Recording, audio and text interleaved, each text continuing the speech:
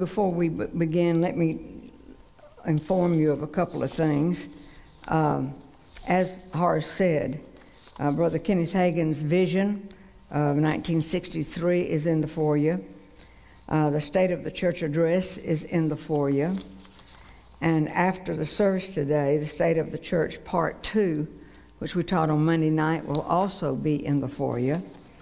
And for the first time ever that the Lord has ever told me to do this, uh, the study notes of today's message will also be in the foyer uh, when uh, this service is over. So uh, he also said that you are to make copies of it, to put it around in your house, um, in your business, uh, many different places where you might want to put it. He told us to put it around here in this church, the notes that will be given out today. So, anyway, that will be after the service. Uh, so, you can take that and do whatever you choose to do, which I hope is what the Lord said. So, um, I am absolutely positive that um, many people, you could go many places today and not hear a message like this. Uh, but I am also absolutely positive that this is what the Lord said to do and to follow the state of the church address and to make to get us ready for the return of the Lord. And if you paid attention to the state of the church address, both Sunday morning and Monday night services, um, you know that um, the Lord prepared us for some difficult times, and particularly on last Sunday's message. And if you haven't gone through those notes, and it's not a reason in the world for you not to, everybody there, we're giving them to you uh, directly as they were given to me. And um, so you're going to find yourself whether you're going to make the decisions of what he said, whether to walk in faith or walk in fear in the days that are in front of us. I know that there are many people that are acting like our, the greatest days uh, for America are in front of us. That is not what the Lord said. He said, for the world, things were going to get worse and worse, and that's in last Sunday's message. He said a lot of things, but for those of us who belong to the Lord Jesus Christ, it is our finest hour. Meaning by that, it is our opportunity to shine in the middle of the darkness. It's our opportunity to take advantages, as the Lord said in the message, uh, things that will come our way. It's our opportunity to take advantage of those particular times for His glory, to shine for His glory. And so I, I wanted just to say that to you in case none of you ever come back after today. I love you and I appreciate you and the blessings of the Lord upon you. Amen.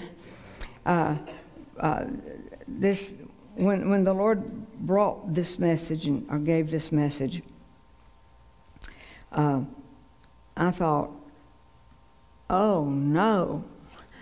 I, I mean, that's, I'm being honest, that's really what I thought. Oh no, surely not. And uh, I've gotten over that. And I'm saying, thank you, Jesus, now. And, and uh, thank you for preparing us, for, for warning us. Remember that the Lord said in, in his book that he, will, he does nothing unless he tell his servants, his prophets, or his prophetic church, is what he said. He does nothing that he does not forewarn. Now, you know as good as I do that everybody, no one, very few people want to know what's going on.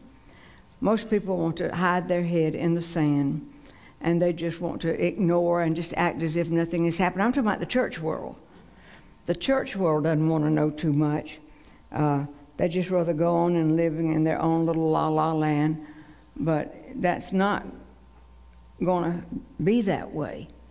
And it's important for you to, even though this coming week there is a homegoing service uh, Thursday night, it still is very important for you to be in services uh, during the week and at any time that you can. It's very important uh, in the days that we have left upon this earth. It's, it's so important that we do. Again, I want to thank all of you who've come out this morning.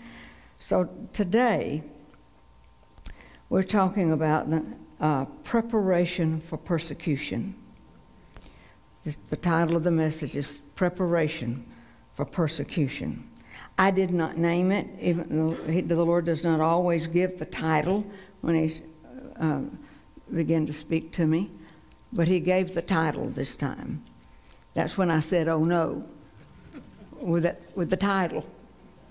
So, preparation for persecution. You will be pleased in the long run how your God is looking after you and what He's doing. For me, at least, the most startling words in the 2022 State of the Church message was two statements that we found in it. Number one was, You have entered the days of Shadrach, Meshach, and Abednego. When I read that part, which is halfway through of the 2022 State of the Church, when I read that, I thought, oh no, again, because I knew uh, the times and the seasons of Shadrach, Meshach, and Abednego. And my first, my first impulse uh, maybe, maybe you don't go that way, but I do. Very real with the Lord. I don't try to put on any kind of front. He knows me anyway. And I said, Oh, no. And then the part that said, Prepare yourself for the fiery furnaces of this evil world. And uh, I didn't like that part very much either. And I probably said, Oh, no, again. But let me, let me take just one little second to take us to Daniel for a minute because I'm not going to assume that everyone has gone back. And I told you to read Daniel 3, and I told you to read Esther with the decision she had to make. Uh, if I perish, I perish. She had to make bold decisions in the world in which she found herself living. Shadrach, Meshach, and Abednego is found in Daniel 3. I'm not going to read all of it, but if you have your word, and it's not on the screen, uh, so if you have your, your Bibles, you know to start off with Nebuchadnezzar, the king, the president, the king, whoever you want to call him, the head honcho, uh, at that particular time made a statue of himself. And in that uh, statue, gold statue, uh, it ended up being that he said that everyone, when they heard musical instruments play, that everyone would bow down and worship that statue. And of course, Shadrach, Meshach, and Abednego, the three buddies of Daniel, uh, they were not doing that, and they were reported by, you know, uh, other people around, just and, and went to the king and said they're not paying any attention to what you put out, king. They refuse to serve your gods, and they will not worship your gold statue. So that's the place they found themselves in, having to make a decision. Then it goes on to say. Uh, then they called Shadrach, Meshach, and Abednego, called him into Nebuchadnezzar, or to the officials, we could put it that way, to the officials, even though they went directly to the king because they were working for the king. And uh, the king said to them, Is it true, is it true that you refuse to serve my gods or to worship the gold statue I've set up? And then the king says, I'm going to give you one, I'm going to give you another opportunity. I'm going to give you a chance to change your decision. Uh, I'm going to give you an opportunity for you to think this thing through uh, because you have already heard what happens if you don't do it. So I'm going to give you, an, it's like he's been a friend. I'm going to give you an opportunity to make a decision. And then Shadrach and, Nish, and uh, Meshach and Abednego, they replied to him. And they said, uh, when they said, you know, you'll be thrown into a furnace and will burn in that furnace. And their response was, O Nebuchadnezzar, we do not need to defend ourselves before you. If we are thrown into the blazing furnace, the God whom we serve is able to save us. He will rescue us from the power of your majesty. But even if he does it, that's a big statement. But even if he does it, we want to make it clear to you, Your Majesty, that we will never serve your gods or worship the gold statue that you have set up. And you know the story. Uh, Nebuchadnezzar said, Make the furnace seven times hotter than before, threw all of them into the furnace, tied them up in their clothes and everything so they'd burn even faster and all, everything else, heated it seven times higher. And the people who threw them in there ended up burning up because it was so hot. And uh, you remember that uh, at one point Nebuchadnezzar looked in, and when he did, he was calling all his little folks around him, said, Come in and look. There, then we put three people in there. Looks like there's four in there, and one looks like a god. And uh, so they all looked, and sure enough, I think it's so funny every time I read this. It may not be funny to you, it's just funny to me that he had to ask them to come out. You know, I mean, I, I just think that's so cool. You know, he literally, Shadrach, Meshach, and Abednego, you know, he, he asked them, he says, you know, come out, come here, come on out. And then, you know, and from that, you remember it says that the fire had not touched them, not a hair on their heads was singed, and their clothing was not scorched. They didn't even smell of smoke. And as a result of that, though, you cannot forget, as a result of that, that uh, uh, the king and, and those around began to praise the God of Shadrach, Meshach, and Abednego. That's whatever comes our way, the outcome should be. That whomever sees us or knows us or encounters us, that what should happen in the days that are directly in front of us, whatever takes place, however you and I live our lives, we should hope that in the midst of all of it, they will be able to proclaim their God is something else. Their God is something else. And that's why we are still here. That's our testimony to live a life so that those around will want to follow our God. So, in light of that, again, two startling words, you know, You've entered the days of Shadrach, Meshach, and Abednego, repeated three times in the 2022 message, and prepare yourself for the fiery furnaces of this evil world. So when Jesus delivered the Sermon on the Mount, he opened the message with a series of blessed are those and blessed are you. We're talking about the, you know, the, the Sermon on the Mount.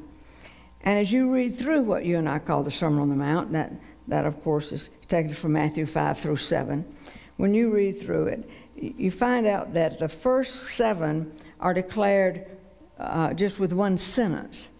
But when you get to the one we're about to read, blessed are those, Jesus says more than one sentence about this particular issue. Matthew 5 10 through 12.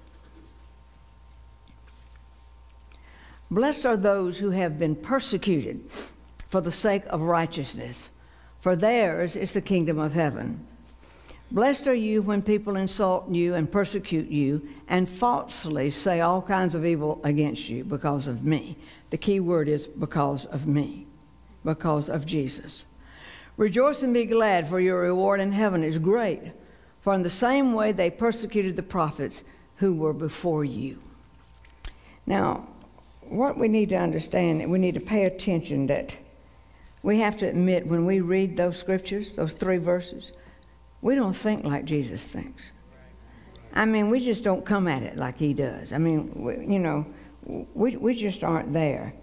And matter of fact, we're, we're so naive and, and so uh, uh, sometimes so simple minded in our walk with the Lord and so self centered that we end up, even when we are being corrected, uh, you know, whether it's uh, rebuked are corrected, we think we're being persecuted. That is not what the Bible calls persecution at all. Even though we say, you know, I mean, I've heard it spoken back at me many, many times. You know, I can handle this persecution, or I, you know, this, and and and it all has to do with being corrected, or being rebuked, and again, that is that is not at all what the Bible calls persecution. Not at all. We are just so self centered that anytime anybody corrects us or comes against us or tries to rebuke us or try to put in order something that you and I have made mistakes about and need to be put in order, or when we have not lived correctly in front of people, or we've done things we should not do, or have not lived by the standards that Jesus holds up there, and when someone comes and, and addresses it, we at that point are so high minded that we think, well, just I'm just being persecuted. Let me get it straight again. That is not persecution. That is not what the Bible calls persecution. So, our minds and our hearts, friends, should be on eternity. We should rejoice and be glad. I mean, everything, we should be thinking about eternity. We're on our way home. Amen. And I mean, we're way past halfway down the road. I mean, we, we, we're past, you know, if there's a hundred mile markers, and when you get to a hundred, you're there. My friend, we're, we're about to see the marker in front of us. I mean, we're way down the road. We're, we're going home. I mean, that's where we are. These are last days of going home. Now, I am also aware that a lot of people don't even want to hear that because they've got so much they want to do. There's so much they want to do. They want to do themselves or their own plans with their own, uh, what their, uh, with their own life uh, with their children, their grandchildren, or great grandchildren, or whatever, and, and their own plans, what they have, what they want to live, how they want to live. I hadn't even half lived. I mean, if you're living by the world standard, you ain't lived yet. Amen. You know, I mean, God's ways are not our ways.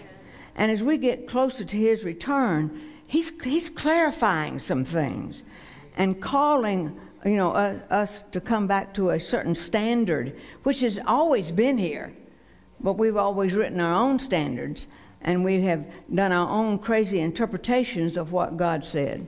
Now, it would help me if you'd smile a little bit as we go along, so hallelujah. I've been looking around to see where can I look, I, but anyway, right, hallelujah. Anyway, so the very first principle that he says is that you are blessed when you are persecuted. Church, that is not the way we think. You know, and the Lord warned us about persecution. He warned us in the 2022 message. He forewarned us. And of course, maybe that's why some folks don't want to keep coming very much. I'd rather go where they don't talk about this. You know, give me something that just blesses me. I don't want to hear what's happening. The day will come. You will wish you had heard. I promise you. So, the Lord told us persecution was coming. Uh, so let's make sure we understand exactly what he means and how it operates so that we can prepare effectively whatever may come our way so that you and I can walk in faith and we can walk in wisdom. He gives a definition of what is persecution. And this is his definition religious persecution is the systematic mistreatment of an individual or a group of individuals on the basis of their religious belief. So I'm going to give this, the, not my whole notes, but an outline. And of course, that's on it. Religious persecution is the systematic mistreatment of an individual or a group of individuals on the basis of their religious beliefs.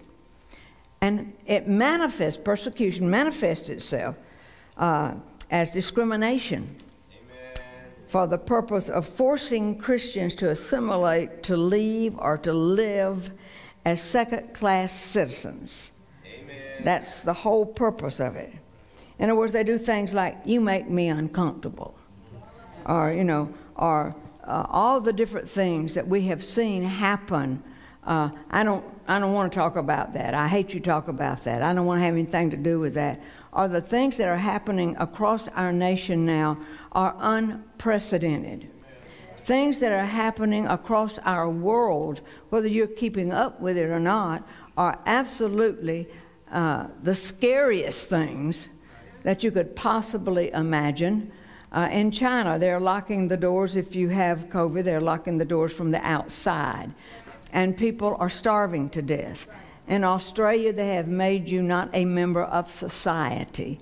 And, and uh, uh, in other countries of the world are beginning to follow suit. I could begin to name them to you. It's not one or two, it is a good number. In Israel, it is unbelievable what's happening in that country. And I'm just saying to you to think it is not here just because it hadn't knocked on your door or because God has graced us in this precious bubble does not mean that it's not happening across the United States. I'll assure you it is. I could give you testimony after testimony. So let me go on and help you. So, when carried out uh, in a nation or a group's policy, Christians, when Christians are harassed, intimidated, threatened, humiliated, and uh, at times imprisoned for their faith, uh, you know, the question is why are we persecuted? We're different.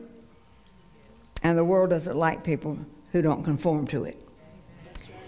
And another reason, we're children of light, the world's children of darkness. We're alive in the Spirit, they're dead in the Spirit. We live by faith, they live by sight. Therefore, we understand the world far more than the world understands us. And you think you don't understand them, honey, they sure didn't understand us. I'll assure you of that. And, and, uh, and they never will, based on the scripture, because look what the scripture says in 1 Corinthians 2. But a natural man does not accept the things of the Spirit of God, one who is not born again, for they're foolishness to him, and he cannot understand them because they are spiritually appraised. Now, you see, for instance, let me take a simple thing. Try explaining to the world, I could say try explaining to the church. Try explaining to the world tithing. There is no way possible, and particularly in these end days when finances are difficult for a lot of people and uh, different things are happening, try explaining tithing. They will call you the biggest fool known to mankind. How stupid. The church just trying to take your money. They will absolutely attack you and the church if you make a statement that you are a tither in these rough days that we are entering and that we are in. The sad part about it is, is that in all honesty, that even inside the church when things get rough, people want to quit tithing. It's the last thing in the world you should do. Uh, you know, I mean, it's just the last thing in, in the world. I mean, you know, uh, in hard times you can't afford, you cannot afford not to tithe. Because tithing is the key to your provision. And you cannot explain it. You can't sit down and say one, two, three, this, blah. You can't do it. It's by faith. It's by faith. So, number one, what is persecution? Number two, there are five stages of persecution. Number one, it begins with stereotyping Christians. For example, creating nicknames to be used in describing a group of people targeted for persecution, like, you know, Bible thumpers, or tongue talkers, or snake handlers, or they just fall on the floor all the time, are hypocrites.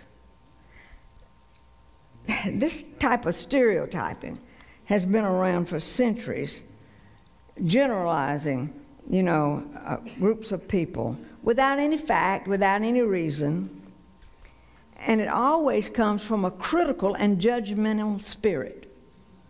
That's people who, with their mouth, begin to attack. To any time that you appear that you love God more than somebody else, some, they're going to attack you like a snake let loose. Anytime you you begin to talk about that you may had, have had an experience with the Lord and you're not bragging about it, you're just trying to share. Maybe you want somebody just to hear it. When someone who is not pressing into the Lord or someone who is not eager to know the things of the Lord, they're going to judge you like crazy. They're absolutely going to begin to lash out at you and make fun of you. It's, un, it's unbelievable what they will do when they see that, that you may be really touching an area that they uh, don't know much about. If you don't know anything about it, leave it alone. You know, let, let the Lord handle it, you know. So, stereotypes are a big problem in our society uh, because they dictate, they dictate how others should live or act, and they generate a judgmental spirit, as I just said. And they undermine the potential in others with cliques like, all teenagers are rebels. All men drive better than women. We all know that's not true. Girls are not good at sports. All blondes are ditzy. All Muslims are terrorists. All country folks are stupid. That is not true. Now, I just see these generalizations of groups like these, stereotypes, they can have a profound, uh, you know, impact on people, particularly on children. And yet we talk about them, and when it comes to persecution, stereotyping people, it lays a foundation for prejudice, for discrimination, and for criminalization. That was just number one. Number two, the second stage is slander or vilify. Uh, is to slander or vilify Christians for alleged crimes or unwelcome conduct. At this stage, Christians start being called domestic terrorists, or bigots, or even criminals. They describe us as narrow minded, hateful, intolerant, mean and harmful to the freedom and dignity of non Christians, all because we believe the Bible. Just because we believe the Bible. And when you are a person who believes uh, in, in the sanctity of life, and you come against those who are pushing abortion, or those with different lifestyles opposite of what the bible says and you begin to you begin to stand firm with the word of god I promise you, at that point, they are going to do everything to slander you and vilify you. I guarantee you. Number three, when that behavior is allowed to continue, then what happens? The third stage. And it's the influence of the church is marginalized or stigmatized, however you want to call it, by society. The whole church is. Uh, and how does this play out? Christians begin to find themselves banished from social media platforms like Facebook and YouTube. This is number three stage.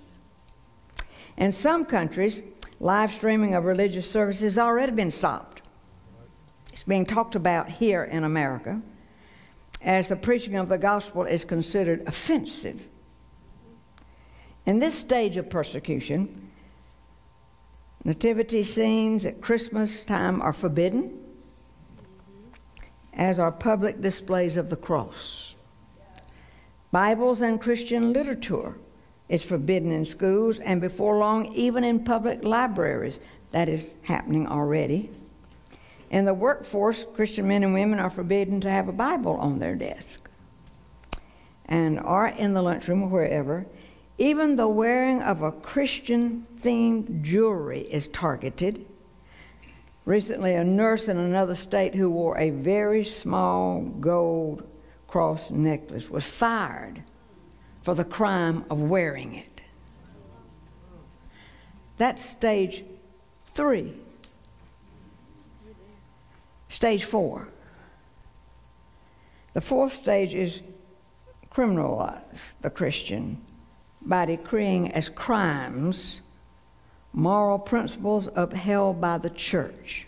For example, refusing to officiate at a homosexual marriage and having anti abortion convictions will be labeled as crimes.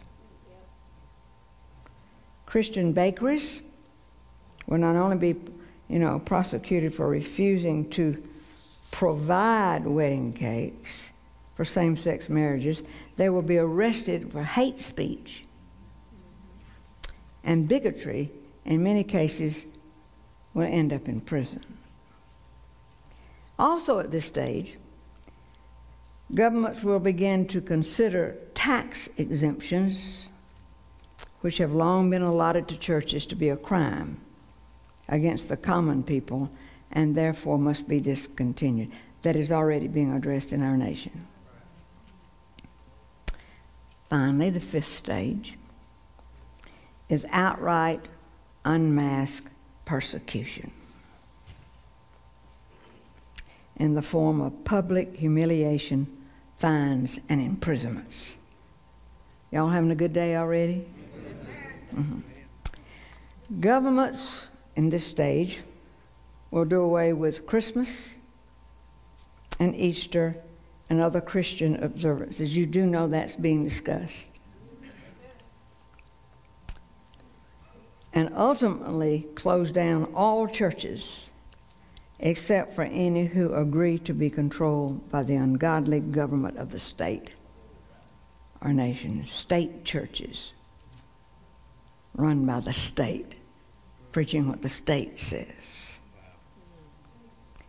Now, given the explanation that I've given you, it's not difficult to see where we are.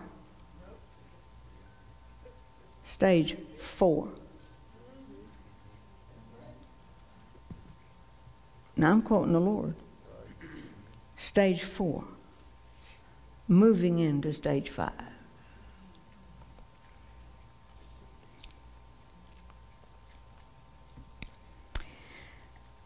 Let me give you some real examples of what have happened in addition to the nurse being fired for wearing a cross.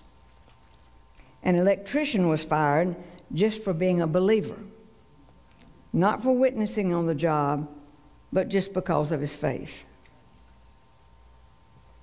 He lived the life of Christ in front of them, and they didn't want anything to do with that. So they fired him. All these are true stories. A pastor was arrested for holding an outdoor service for the homeless at Christmas time because he had more than 10 people. A woman street evangelist was attacked and stabbed for sharing the gospel with the homeless in London. And for more than 30 years, she had preached the gospel to the homeless.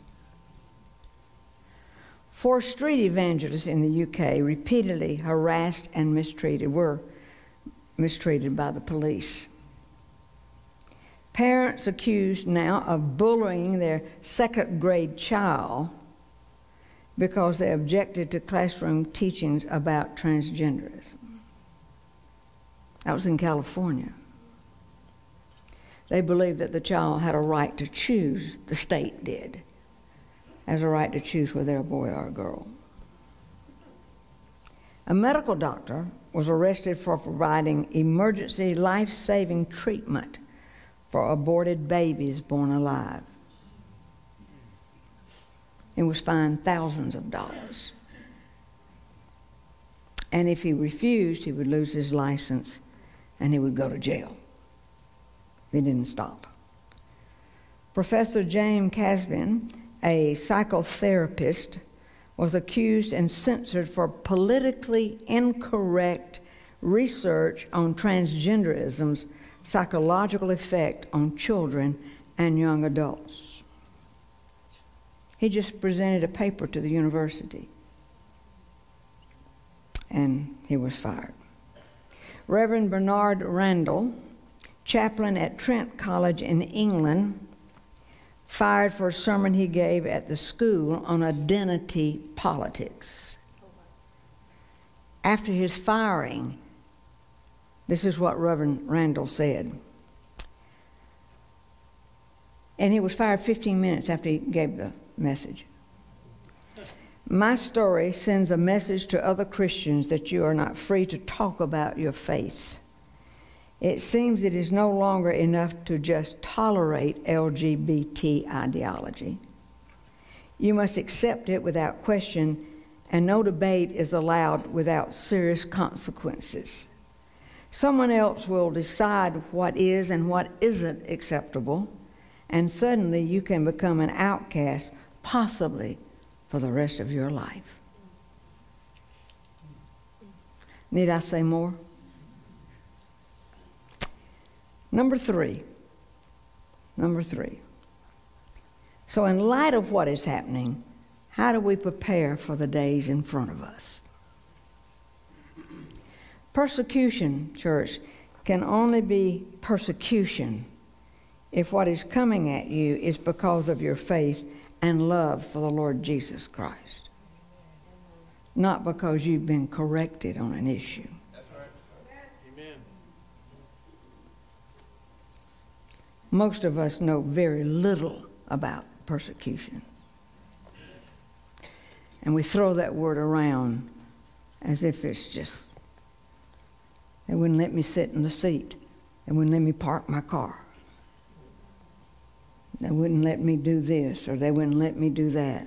I'm being persecuted. No, no. The Word of God does not leave us without instruction. There are many scriptures that deal with persecution. Look at 2 Timothy 3:12.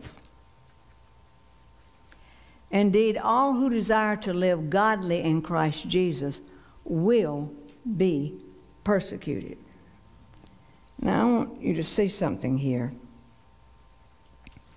Persecution is really a badge of honor. It means your life is making a difference in somebody else's life. They can't handle the heat. Paul said, Those who desire to live godly in Christ Jesus will be persecuted. There's no exemption from some measure of persecution coming your way, if it hadn't already. Perhaps from unsaved family, or from people you work with, or whomever. Somebody in the church, somebody. Persecution comes your way. Because you can only be persecuted as a Christian if they're persecuting you because of your godly walk with Jesus Christ. Not because you're being judgmental and attacking and, you know, coming against everybody and acting like you're somebody and you, I know it all. How many of you know what I'm talking about? I want you to notice what he said in this verse. He said, All who desire, say with me, desire, desire, desire to live godly. Sometimes we think that persecution only comes to the giants of the faith, or to preachers, or to evangelists, or to those in ministry who are doing great things for the kingdom. But the scripture says, all who desire to live godly in Christ Jesus will be persecuted. If that's your desire, do you know how many of us just live our lives without ever even thinking about what you're doing? Is your desire for somebody to see Jesus? Are you living a life so that you want somebody to know Him because they know you? We've talked about it a lot. I talk about it to you a lot. That when they meet you, they want what you have. I'm not talking about your money or your houses or your cars. I'm talking about the way you are obviously a conqueror in the middle of whatever's going on. The way you live, the way you overcome. Do you have that desire? I want somebody, whomever I meet, whomever I come to, I have a desire somebody to know I belong to Jesus, and I have a desire that the way I live, somebody will find Jesus, because if not, they'll burn in hell. And I care about them because Jesus cares about them. He died for us. And he says, anyone who just desires to live a godly life, you're going to be persecuted. You don't have to be the most mature disciple in the room to be persecuted. You just have to desire to live a godly life. Paul says, get ready to be persecuted. The reality today is that Bible believing, Bible obeying disciples of the Lord Jesus Christ are the primary targets of persecution through any of the ways that I've already mentioned, through any of those five ways. And we shouldn't be surprised. Because you live in the Bible Belt, though the belt has certainly been loosened in the last recent years. God has graciously given us this bubble. Amen. Praise His holy name. Amen. So we may not see this as clearly as how it's happening in other areas. You know, uh, other people talk to me who live in different parts of the nation, and things are awful. In parts of the United States of America, we are not united. Amen. Amen. It is terrible. And coming to the forefront is an attack against Christians. Some of you may have heard what happened to Mike Lindell, the my pillow fellow. All of his assets, personal and business, all bank accounts were totally shut down. This just happened in the last day or two. And for two reasons. One was his political stand, but one not being talked about as much is his Christian stand.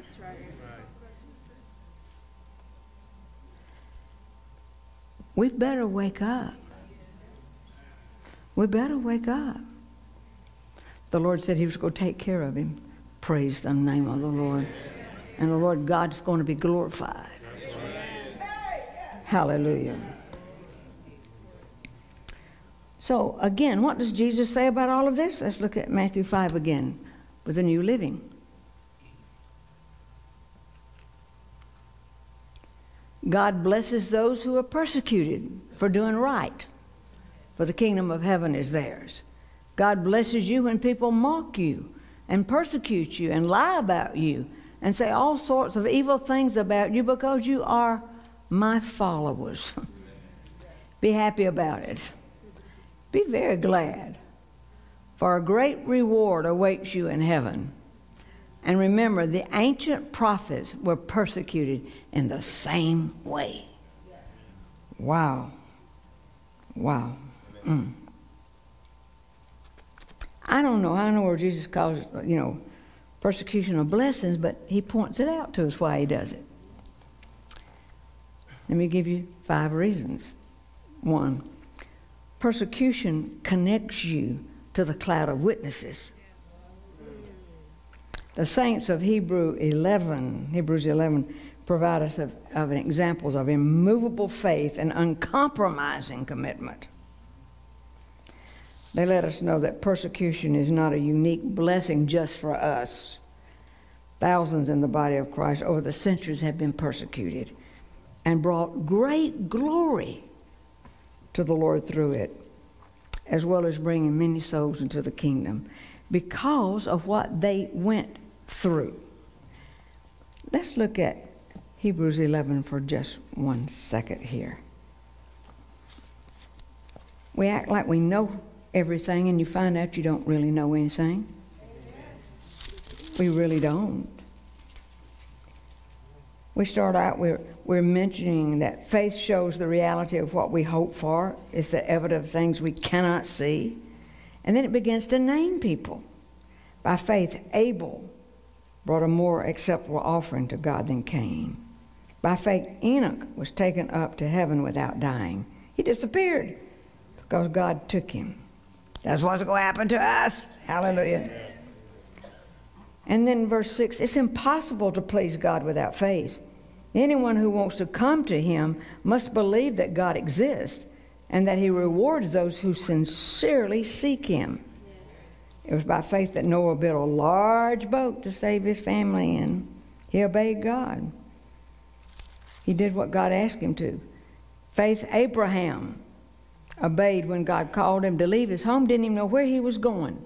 Walk out the front door and wasn't even told to go to the left, not to the right. He just went. That's an amazing man. He went without knowing where he's going. It was by faith that even Sarah was able to have a child, though she was barren and was too old. She believed that God would keep his promise. That's what you and I need. That jumped off the page. She simply believed God would keep his promise. Amen. Well, I don't know how to hold it. Believe God doesn't lie. Amen. Find it in the book and believe God will do what he said. Yes.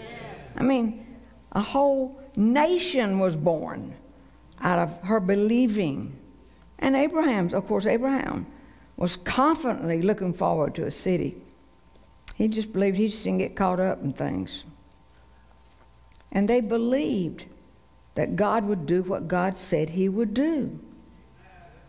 They just believe it. It was by faith that Abraham, verse 17, offered Isaac as a sacrifice when God was testing him.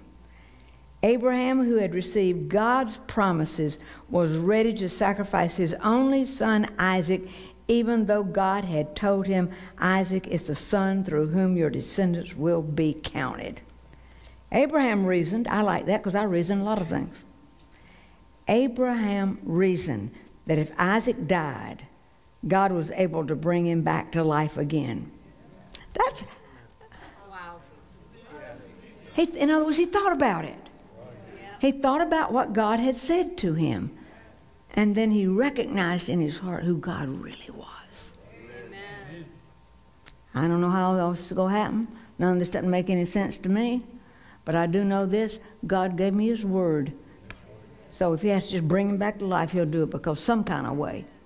There's a nation coming out of me. Amen. Glory to God. Thank you, Jesus. By faith, Isaac promised blessings, Jacob, Joseph, Moses. Moses, when he grew up, refused to be called the son of Pharaoh's daughter. And, I mean, it's just amazing. Moses left the land of Egypt not fearing the king's anger. He commanded the people of Israel to keep the Passover, sprinkle blood on the doorposts so that the angel of death would not kill their firstborn you know, I, I just love to see how God does things, you know. You would think God would say something like, I'm building a hedge around Goshen, you know, and the death angel cannot come in here. But that's not what he said. He said, if he comes in here, if you've got blood on your doorpost, he won't touch you. But he did not say he won't come by your house to check it. Wow. That's a wow. Mm. And then he went on and, you know, talks about what happened about Jericho, and, and he goes talking about Rahab, and he talks about Gideon and Barak and Samson and Jephthah and David and Samuel. All these wonderful people, you know all that God had promised them. They shut the mouths of lions, quenched the flames of fire, escaped death by the edge of the sword. But others, he says, were tortured, refusing to turn from God in order to be set free. They placed their hope in a better life after the resurrection. Some was jeered at. Their backs were cut open with whips. Others were chained in prisons. Some died by stoning, some were sawed, sawed in half. And others were killed with the sword. Some went about wearing skins of sheep and goats, destitute and oppressed and mistreated. They were too good for this world. The world was not worthy of them, is what the is where the 2022 message. And he says, desire to be like those. That they would say the world was not even worthy of them. Wow. Wow. Mm. Number two, persecution deepens your connection to Jesus. Insults, mocking of any kind of persecution because of your love for Jesus is an opportunity for you to go deep with the Lord. He knows what it's like to be hated and mocked you know what it's like to be put to death. In the midst of suffering, He's going to be the one comforting you. Number three, persecution increase your spiritual strength. Paul was incredibly familiar with persecution. He was chased out of cities, thrown into jail, threatened with death. What was his response? We rejoice in our sufferings, knowing that suffering produces endurance, he says. He was stoned, you know, five times. He was beaten with whips, 39 lashes, three times beaten with rods, three times shipwrecked, once spent a whole night and a whole day on the sea. Paul. You see, church, persecution is like a refining fire. It clarifies your priorities and does away with your distractions. It will determine what you're willing to die for. And the fact is that until you know what you're willing to die for, you really don't know what you're living for. It will determine what you're willing to die for, and the fact is that until you know what you're willing to die for, you don't really know what you're living for. Persecution number four brings blessings. You know, the devil would like for you not to hear the preparation that God's preparing us for. So don't, if you feel yourself about to kill over or something, jerk yourself up. Persecution brings blessings. Jesus promised that all who experience persecution here on earth, you're going to have blessings in heaven. And I want to remind you that in the midst of pain and trial on the earth, persecution reminds us that this is not our final destination. We don't belong here. When we were born again, we lost citizenship on the earth and we gained citizenship. We don't belong here. We don't belong here. Number five, persecution causes the church to grow. In his letter from prison to the church of Philippi, you mark that one down persecution will cause the church to grow. Philippians 1:12. Now I want you to know, brethren, that my circumstances have turned out for the greater progress of the gospel. Persecution makes the church grow. So what was supposed to crush it increased it. So let me give you a nugget. Joy is the thermostat in the Christian life. Persecution is the thermometer.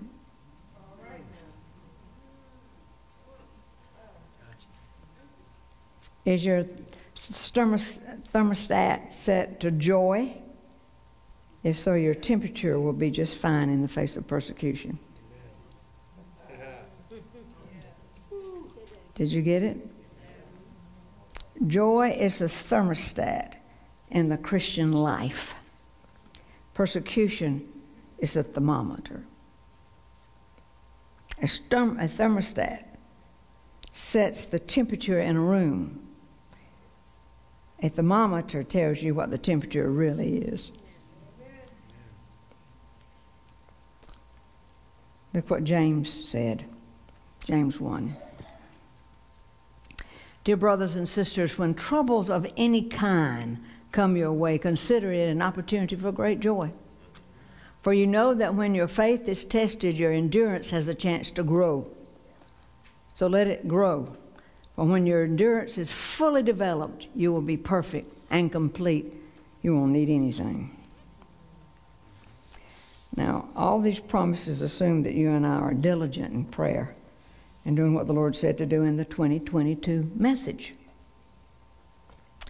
which was to so live in the Word that you think it, breathe it, digest it, walk in it so powerfully that you may be likened to those of whom it was said, the world was not worthy of them. What should be your attitude toward the persecutors? Romans 4, 12, 14. Bless those who persecute you. Bless and do not curse.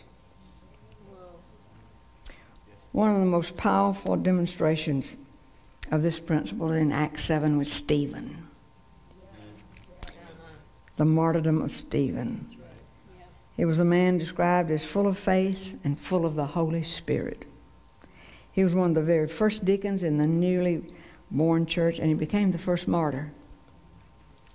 She was being stoned. Remember, it was Saul, Saul of Tarsus, the radical persecutor of the early church, was watching. And as Stephen drew his very last breath, my friend, bruised, battered, bleeding, he said, Lord, please don't hold this to their account. Saul was sitting there. He didn't curse the, th- the stone throwers. There doesn't seem to be any evidence that he even tried to preach to them. That's interesting because a lot of times we start trying to preach and make people feel guilty in a time like that, and guilt doesn't usually bring somebody to a genuine walk with God.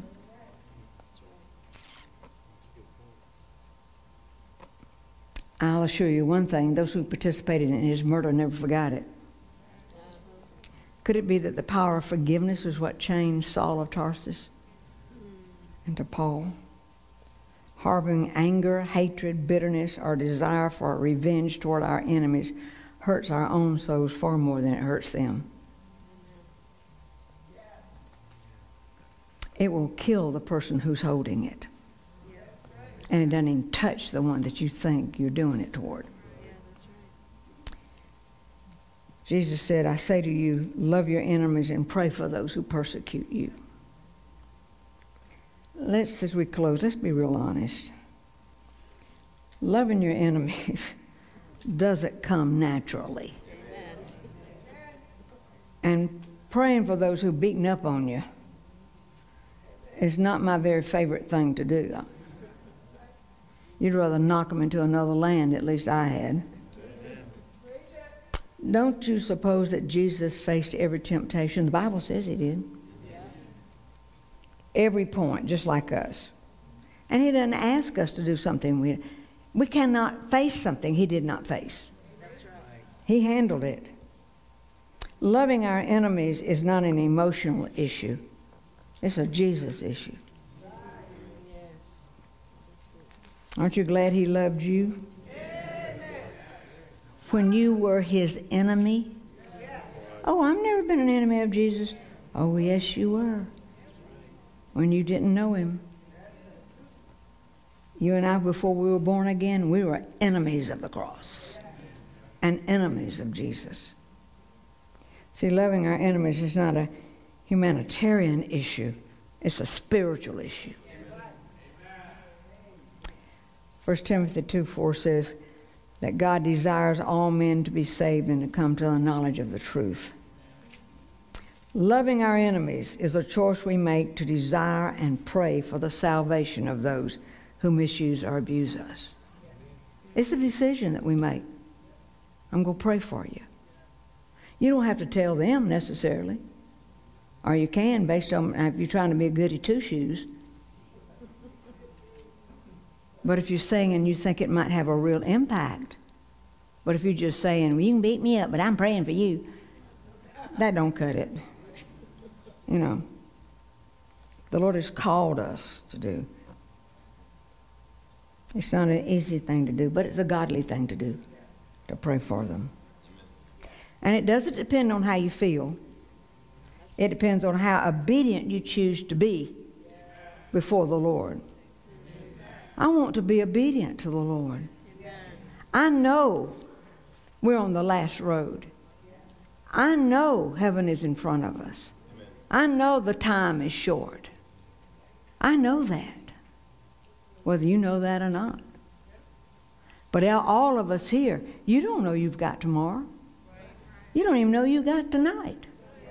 So everybody should know something that you're ready to meet the Lord. You know? You should know. We all should know. Church, we're twice born people in a world of once born people. I like that twice born people in a world of once born people. We're different. We're supposed to be different. And it's that difference that causes persecution. We do not let ourselves be overwhelmed with the cares of this world and the distractions of everyday life in these days. receive the strength He promised you in the 2022 message. And let the Word of God keep you steady and free from worry or anxiety as you immerse yourself in His promises. What are some of His promises? I gave them to you. On page two, don't be anxious about what you will see and hear in this year as it begins. Things that are happening right now. It will begin with a bang, he said. For you who follow me, for you who love me and abide in my word, protection as powerful as that which the children of Israel received in Egypt and in the desert has been decreed for you. Others may lack food, he says, but from the hand of your Father, I'm providing for you. Dangerous days, he said, but you're going to be protected, he said. Provision has already been decreed. So don't worry like the pagans do. I love it. Your Heavenly Father has already stored what you like in closets and pantries in heaven, and He'll give them to you. He will give them to you.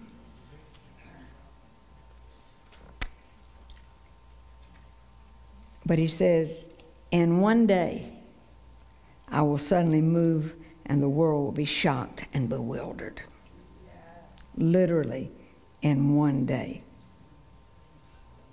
Just as, as Esther was given wisdom in a very difficult and devastating situation, so you, my bride, you're going to be given abundance of wisdom and understanding in preparation for my return. 2022 will not be a happy year from the world's point of view. Things will not get better. They go get worse. This will be a holy year for those I love, though. It's going to be great. Exceptional blessings, unique revelation in my word, multiplied opportunities to stand strong with the Lord Jesus Christ. I will walk with you in the midst of the fiery plots of man and devil that they've planned against my church. He says, I'll walk with you. The government of this world have an agenda to do away with my church, but they have not counted on my sovereign power. Amen. Glory to God. The gates of hell shall not prevail against my chosen ones. And to all who receive it, I will impart my strength and my supernatural wisdom to make you bold as a lion and strategically skillful against the neighbor. I mean, the enemy. Will you open your heart to me and receive what I want to impart to you? Prepare yourself for the fiery furnaces of this evil world. Even as I walked with Shadrach, Meshach, and Abednego, and you shall pass through whatever challenges you face without even the smell of smoke upon your garments. Glory to God. Glory to God. Glory to God. Hallelujah. I invite you this day to choose faith, not fear. Do not be afraid. Do not fear.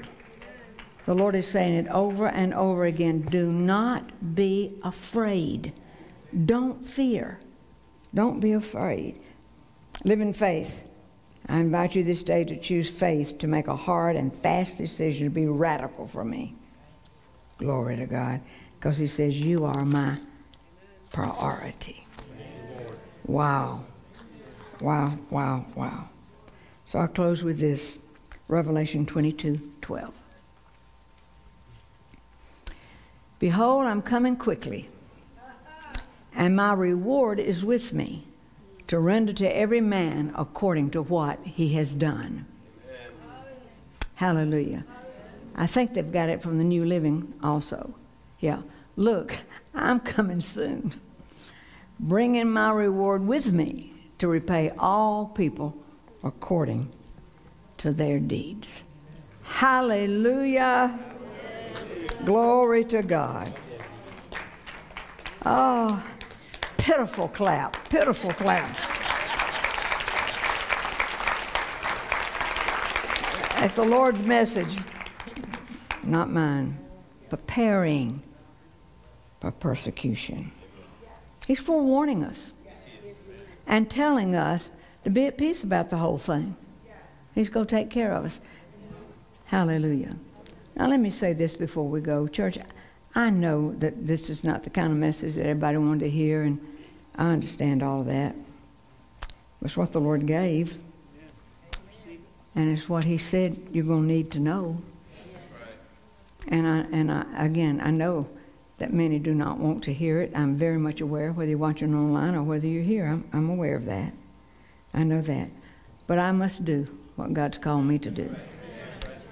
And, uh, you know, we must grow up the church and teach them victory. We are victorious over whatever comes our way. And the Lord is making sure that we are. He doesn't want us to be shocked. He wants us to stand together and to know that whatever comes, He will meet it with us, before us, be with us through it, and uh, put a smile on your face. Some of you look like you're at a death march. Hallelujah. You should be very happy that God is preparing you and telling you. You see, if people don't believe we're in the end days, they won't teach this. They won't teach it. They won't teach it. But I can't wait to see what the Lord's going to give us. I do know this He's going to take care of us. I do know that. Won't you stand? Maybe someone's here and you've not given your life completely to the Lord. It's time, I promise you that, to give your life to the Lord Jesus Christ. He loves you, He cares about you, He knows you by name.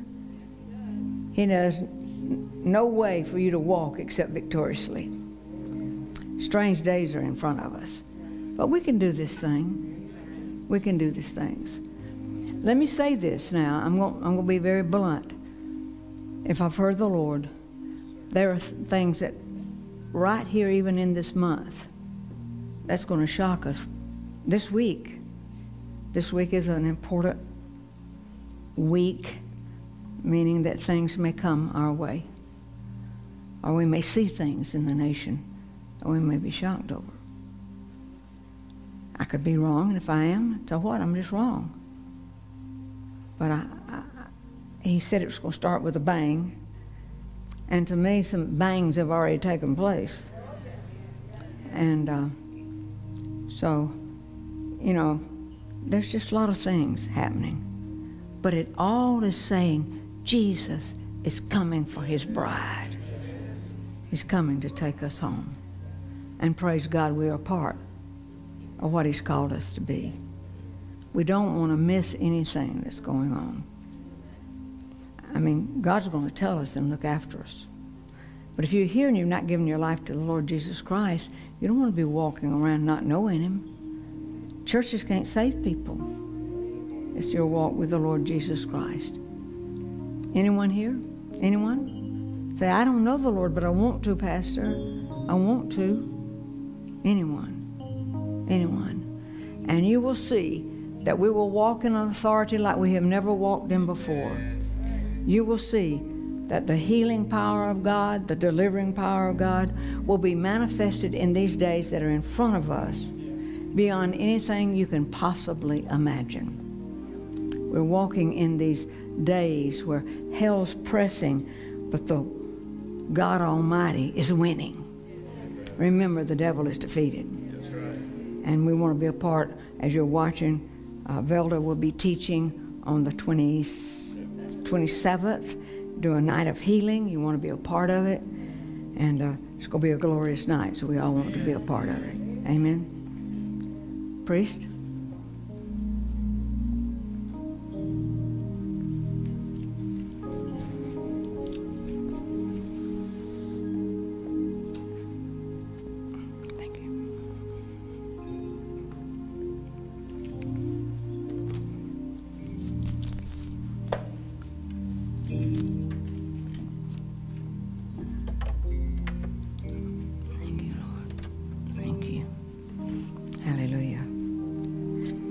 You know, I've done more than 35 years of short, easy, encouraging, outstanding, yay messages.